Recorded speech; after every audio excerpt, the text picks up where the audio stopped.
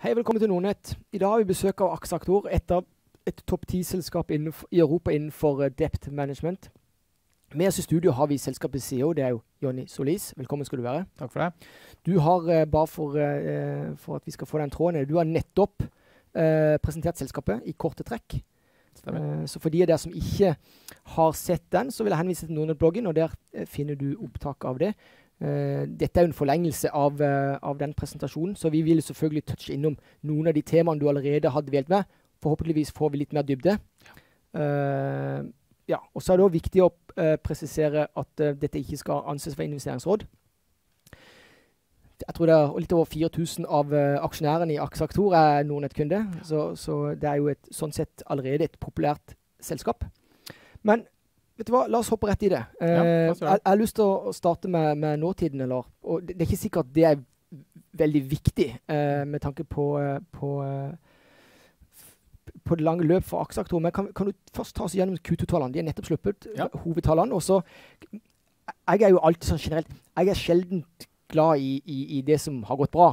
Ja. sånn at er det noe som, som gikk litt svakere enn forventa, og om du kan dvele litt med det. Og det vet jeg, det er et touchy tema for de fleste ja, ja. selskaper som kommer her. For de er ikke vant med å ha fokus på, på ne det negative. Men, ja. men uh, jeg liker å komme litt uh, under huden uh, tidlig. Ja, nei, selvfølgelig. det spørsmålet kunne du ha stilt et av de åtte foregående kvartalene. Så skulle du fått et utfyllende svar. Men akkurat nå, på, på Q2, så dette er jo det beste kvartalet vi, vi har levert på noensinne. På de aller fleste parametere. Uh, men det er klart, uh, det er jo én ting som i hvert fall bekymrer, og det er jo økningen i det generelle rentenivået. fordi det er jo sånn at uh, en økning i Euribor, som våre kredittfasiliteter er knyttet opp mot, i all hovedsak, vil direkte slå inn på vår fundingkostnad. Og vi har bare rukket å hedge 23 av totale, den totale rentebærende gjelden. Og det betyr at en 1 renteøkning vil koste oss 1,9 millioner euro i kvartalet, som tilsvarer på et årlig basis 1,5% lavere avkastning på egenkapitalen. Så dette er et bekymringspunkt for, uh, for Q2. Absolutt. Mm. Og da kan jeg jo like godt hoppe over på punkt to på min agenda, og det er jo det som går på makrobildet. Ja. Uh, og det, på godt og vondt så kan dere ikke gjøre så veldig mye med det, men det er viktig å ha et forhold til det. Ja. Uh, og det er jo for verdensøkonomien er under sterkt press. Det er jo skyende inflasjon. du gikk ut av skolen litt før, litt før meg. Uh, men vi er fremdeles ikke gamle nok til å oppleve de riktige inflasjonsårene. Nei. Men, men uh, bare sånn generelt sett, altså, hvordan påvirker økt inflasjon og rente? Selvfølgelig, du har allerede dvelt uh, litt med det, men har dere noe forhold til det? Er, er, det? er, det? noe som Legger dere strategier uh, avhengig av hvilket nivå, hvor, hvor, hvor, hvor, kan vi i verste fall gå? Har dere noen sånn krisescenarioer? Så om du kan dvele litt, uh, litt ja. med det. Jeg kan gjøre det. Og ja, absolutt, vi hensyntar makrofaktorer, og vi gjør det til betydelig grad i våre vurderinger når vi foretar porteføljekjøp. Eh, men så jeg begynner med å si at eh, makroforhold det er heldigvis av den naturen at eh, noen ganger, eller noen elementer trekker i positiv retning, og noen elementer trekker i negativ retning. Så er det sånn at det er helt opplagt at eh, en høy og vedvarende inflasjon som ikke vil bli kompensert 100% ut av en lønnsøkning, eh, vil medføre at en skyldner eller en hvilken som helst eh, medborger vil få lavere disponibel inntekt. Det vil i teorien si at uh, den samme personen vil ha større utfordringer med å nedbetale gjeld. Det er, eh, liksom, det er tommefingerregel. Eh, enkelt og greit. Men så er det også sånn at eh, det å nedbetale gjeld det oppfattes som en del av sikkerhetspakka for mange personer. Så det er ikke sånn at uh, selv om disponibel inntekt går ned, og i hvert fall hvis vi snakker en, en begrenset si 5-10% så er det ikke sikkert at uh, det går, innbetaling til inkasso går ned 5-10 for, for mange så er det å nedbetale gjeld nettopp en del av sikkerhetsnettverket. Uh, ja, det vil bli mindre turer på spa og sikkert færre feriereiser og alle disse tingene her. Men akkurat det å nedbetale gjeld, så lenge du fremdeles opprettholder et visst nivå av disponibel inntekt, så, eh, så kan det ha en lavere relativt andel begrensning på oss. Eh, og så er det det med renter jeg har lyst til å påpeke. for det er mange som spør om det. Ja, hva skjer nå når boligrentene går opp? Og da tror jeg det er viktig å huske på en ting, at Man kan ikke ta makroelementer fra et samfunn som f.eks. det norske og appresiere på vår skyldnerbase. Fordi nå er det faktisk sånn at de aller fleste eh, skyldnerne i vår base de har ikke egen bolig. Og de som har egen bolig, men som har gjeld til oss, de er allerede på en betalingsavtale med Aksaktor som vi er fornøyd med. Hvis ikke så vil vi satt i gang tiltak for å realisere et boligsalg. Så, så akkurat det med renter er ikke en, uh, vikt, et viktig element i det hele. Ja, og Da betyr at arbeidsledigheten er kanskje den viktigste parameteren i så måte? Høy og vedvarende arbeids, høy arbeidsledighet det er den faktoren av alle. Vi har jo kjørt regresjonsanalyse på dette her, og i min tidligere, jeg har jobbet i bransjen i 15 år nå. og Den eneste makroparameteren som på noe sikt kan gi et visst utslag, det er økt arbeidsledighet. Fordi det går direkte på skyldnerens evne til å gjøre opp for seg. Mm. Eh, men så er det også sånn at vi kjøper jo porteføljer med en inndrivelseskurve på 15 år, og i det lange løp så utligner de aller fleste faktorene seg eh, over tid. Det er, sånn er det også. Mm. Du, altså Mitt uh, tredje punkt her, det er jo det som jeg uh, gleder meg mest til ja. Ja, med alle besøk, og det er jo snakk om strategi. Ja. For til syvende og sist så er det jo sånn at et selskaps iboende evne til å endre forretningsmodell i tråd med underliggende driver i industrien, det er jo helt essensielt, og det er det som skiller gode, uh, gode selskaper fra uh, alminnelige selskaper fra de virkelig, virkelig gode. Ja. Så på godt og vondt så er det som historisk suksess. Det hjelper ikke. Uh, Tvert imot kan det kanskje være en fordel å ha hatt litt motgang i starten. Det tror jeg dere har hatt, uh, og derfor så har dere òg endra forretningsmodellen noe. Det kan i hvert fall gått inn, etter mitt skjønn, virker som har gått inn i, i, i, noen andre spor og ja. tenker litt annerledes.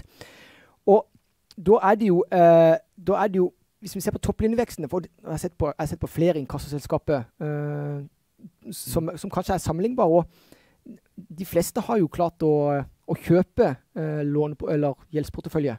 Uh, så topplinjeveksten hadde ikke vært noe problem med. Men det er helt åpenbart at marginen har blitt skvisa. Ikke bare hos dere, men hos, hos andre òg. Og da er det spørsmålet til syvende og sist hvordan skal marginen forbedres fremover? Og har dere det som skal til for å forbedre marginen? Først har jeg lyst til å kommentere på det du sier, for det er jo helt rett. Eh, det er jo aldri vanskelig å vinne, vinne porteføljer eller kjøpe porteføljer. Det er akkurat som å kjøpe leilighet i Oslo. Det er bare å by mest. Så, så vinner du porteføljebudrunden. Eh, så det, det, er helt rett observasjon. Eh, men det som vi har gjort som en ny del av strategien, er jo å anlegge en mer konservativ strategi for porteføljekjøp. altså vi kjøper nå portefølje kun av banker vi kjenner godt, gjerne har kjøpt fra de tidligere, eller kanskje til og med har hatt kravene deres på tredjepartsinkasso. Det tar ned risikoen i porteføljekjøpene. Og så er det også sånn at uh, dessverre da, så har industrien vår overkapasitet. Jeg er ganske sikker på at um, Jeg vet ikke hvor mange som jobber i uh, collection-industrien i Europa, men la oss late som det er 50 000, så jeg er ganske sikker på at vi som industri kunne håndtert et volum som kanskje er 50% høyere enn det som er der i dag, med kun en marginal økning i bemanning. Mens trenger, ingen trenger å etablere nye sentre. Vi har alt som er av datasystemer, eh, callsentre, IT. Alt, alt, er på plass. Eh, sånn at uh, utfordringen er at alle spillerne, for, en, for hver enkelt spiller, så er det jo rasjonelt å kjøpe porteføljer og pushe prisen. Men som industri så ville det vært rasjonelt å konsolidere. Og så er det også sånn at uh, hvis du har kikket til, og det vet jeg du har, du har jo sett litt på aksjekursene våre òg, så er det sånn at alle føler seg underpriset. Sånn at uh, det å konsolidere nå, det har vist seg å være tung materie. Så i Europa så er det jo veldig, veldig mange uh, inkassoselskaper. Sammenlignet med f.eks. USA, som var igjennom denne sykelen her for kanskje 10-15 år siden, hvor det nå primært er to store selskaper som dominerer det amerikanske markedet. Selvfølgelig en underskog av små, men det er mm. to store dominante. Mens i, i, eh, Europa så er det jo ikke sånn ennå. Vi tror jo det kommer, men det kommer til å ta litt tid.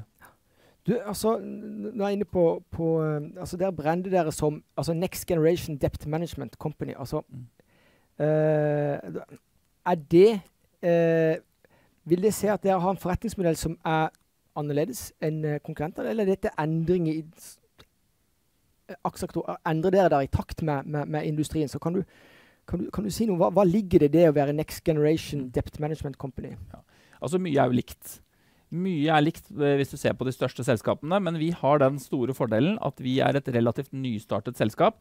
Så vi har jo ikke den store legacy eh, kostnadsbasen som de fleste av konkurrentene våre har. Og det har jo vært vårt store fortrinn, eh, konkurransefortrinn, er at vi klarer å inndrive pengene på, til en lavere kostnad. Og så er det sånn at det, Dette begrepet det innbefatter jo mer enn en bare det med cost to collect. Men det er også måten man, vi jobber med ESG på, hvordan vi behandler skyldneren osv. For det er også sånn at eh, når det for 10-15 år siden så, så, var kanskje inndrivelsen enda mer aggressiv. ikke sant? Eh, det var, eh, men, mens nå så har man, man har jo lært opp igjennom at det, som virkelig gir, burde gi avkastning, er jo at skyldnerne faktisk får en betalingsplan de kan leve med. Eksempel. så i dag så driver vi nok mye mer rådgivning enn beinhard inkasso, hvis jeg kan si det sånn. Det er en kombinasjon. Altså Selvfølgelig så har vi harde, setter harde krav bak på f.eks. ved å benytte det juridiske systemet, men det er nok en vridning mot en mye mer det fornuftig måte å gjøre inkasso på. Og så er det også sånn at uh, vi som industri uh, hjelper skyldnerne i den forstand at vi får industrien mer kostnadseffektiv. Og det har vi jo bl.a. sett. at uh, Salærregimet i Norge har jo åpnet for å kutte eh, kalle fisene til industrien som et resultat av at vi har blitt flinkere til å inndrive til en lavere kostnad. Så sånn sett så kommer jo det skyldnerne også til gode. Nettopp. Du, eh, hvis en ser bare på, på, industrien som helhet, altså hvilke tanker har gjort deg med knyttet til syklikaliteten i industrien? og mm. Fra mitt ståsted så virker den virke, virke ve ve veldig høy. Og, mm. og da er spørsmålet, det første som slår meg, burde, vil det ikke være fornuftig å kopiere strategi fra shippingindustrien? Altså, for det skape aksjonærvinning gjennom Asset Play. Altså, mm. eh, du ga uttrykk for at eh, deler av resultatene, altså 2020-2021, de skyldes dårlig kjøp i 2017, 2018, 2019. Ja. Men eh, snudd på fisa, hvordan er det mulig å utnytte syklikaliteten eh, i, i, industrien til, til, å tenke litt som, som shippingselskapet?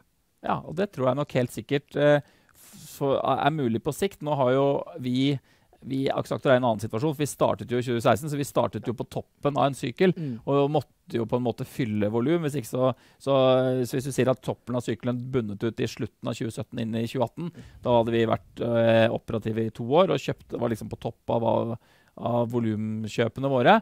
Men det som er helt sikkert, at ja, det er syklisk. og eh, men det er også sånn at du må alltid kjøpe portefølje. Men det vi sier, at du må jo prøve å overinvestere når når markedet er billig, og underinvestere når markedet er dyrt. For du må alltid ha et tilsig. Vi er jo det vi kaller en decaying business. Hver dag løser vi nye krav, og vi må få påfyll. Akkurat som en dagligvareforretning må ha ny melk hver dag, så må vi ha nye krav eh, kontinuerlig tilført.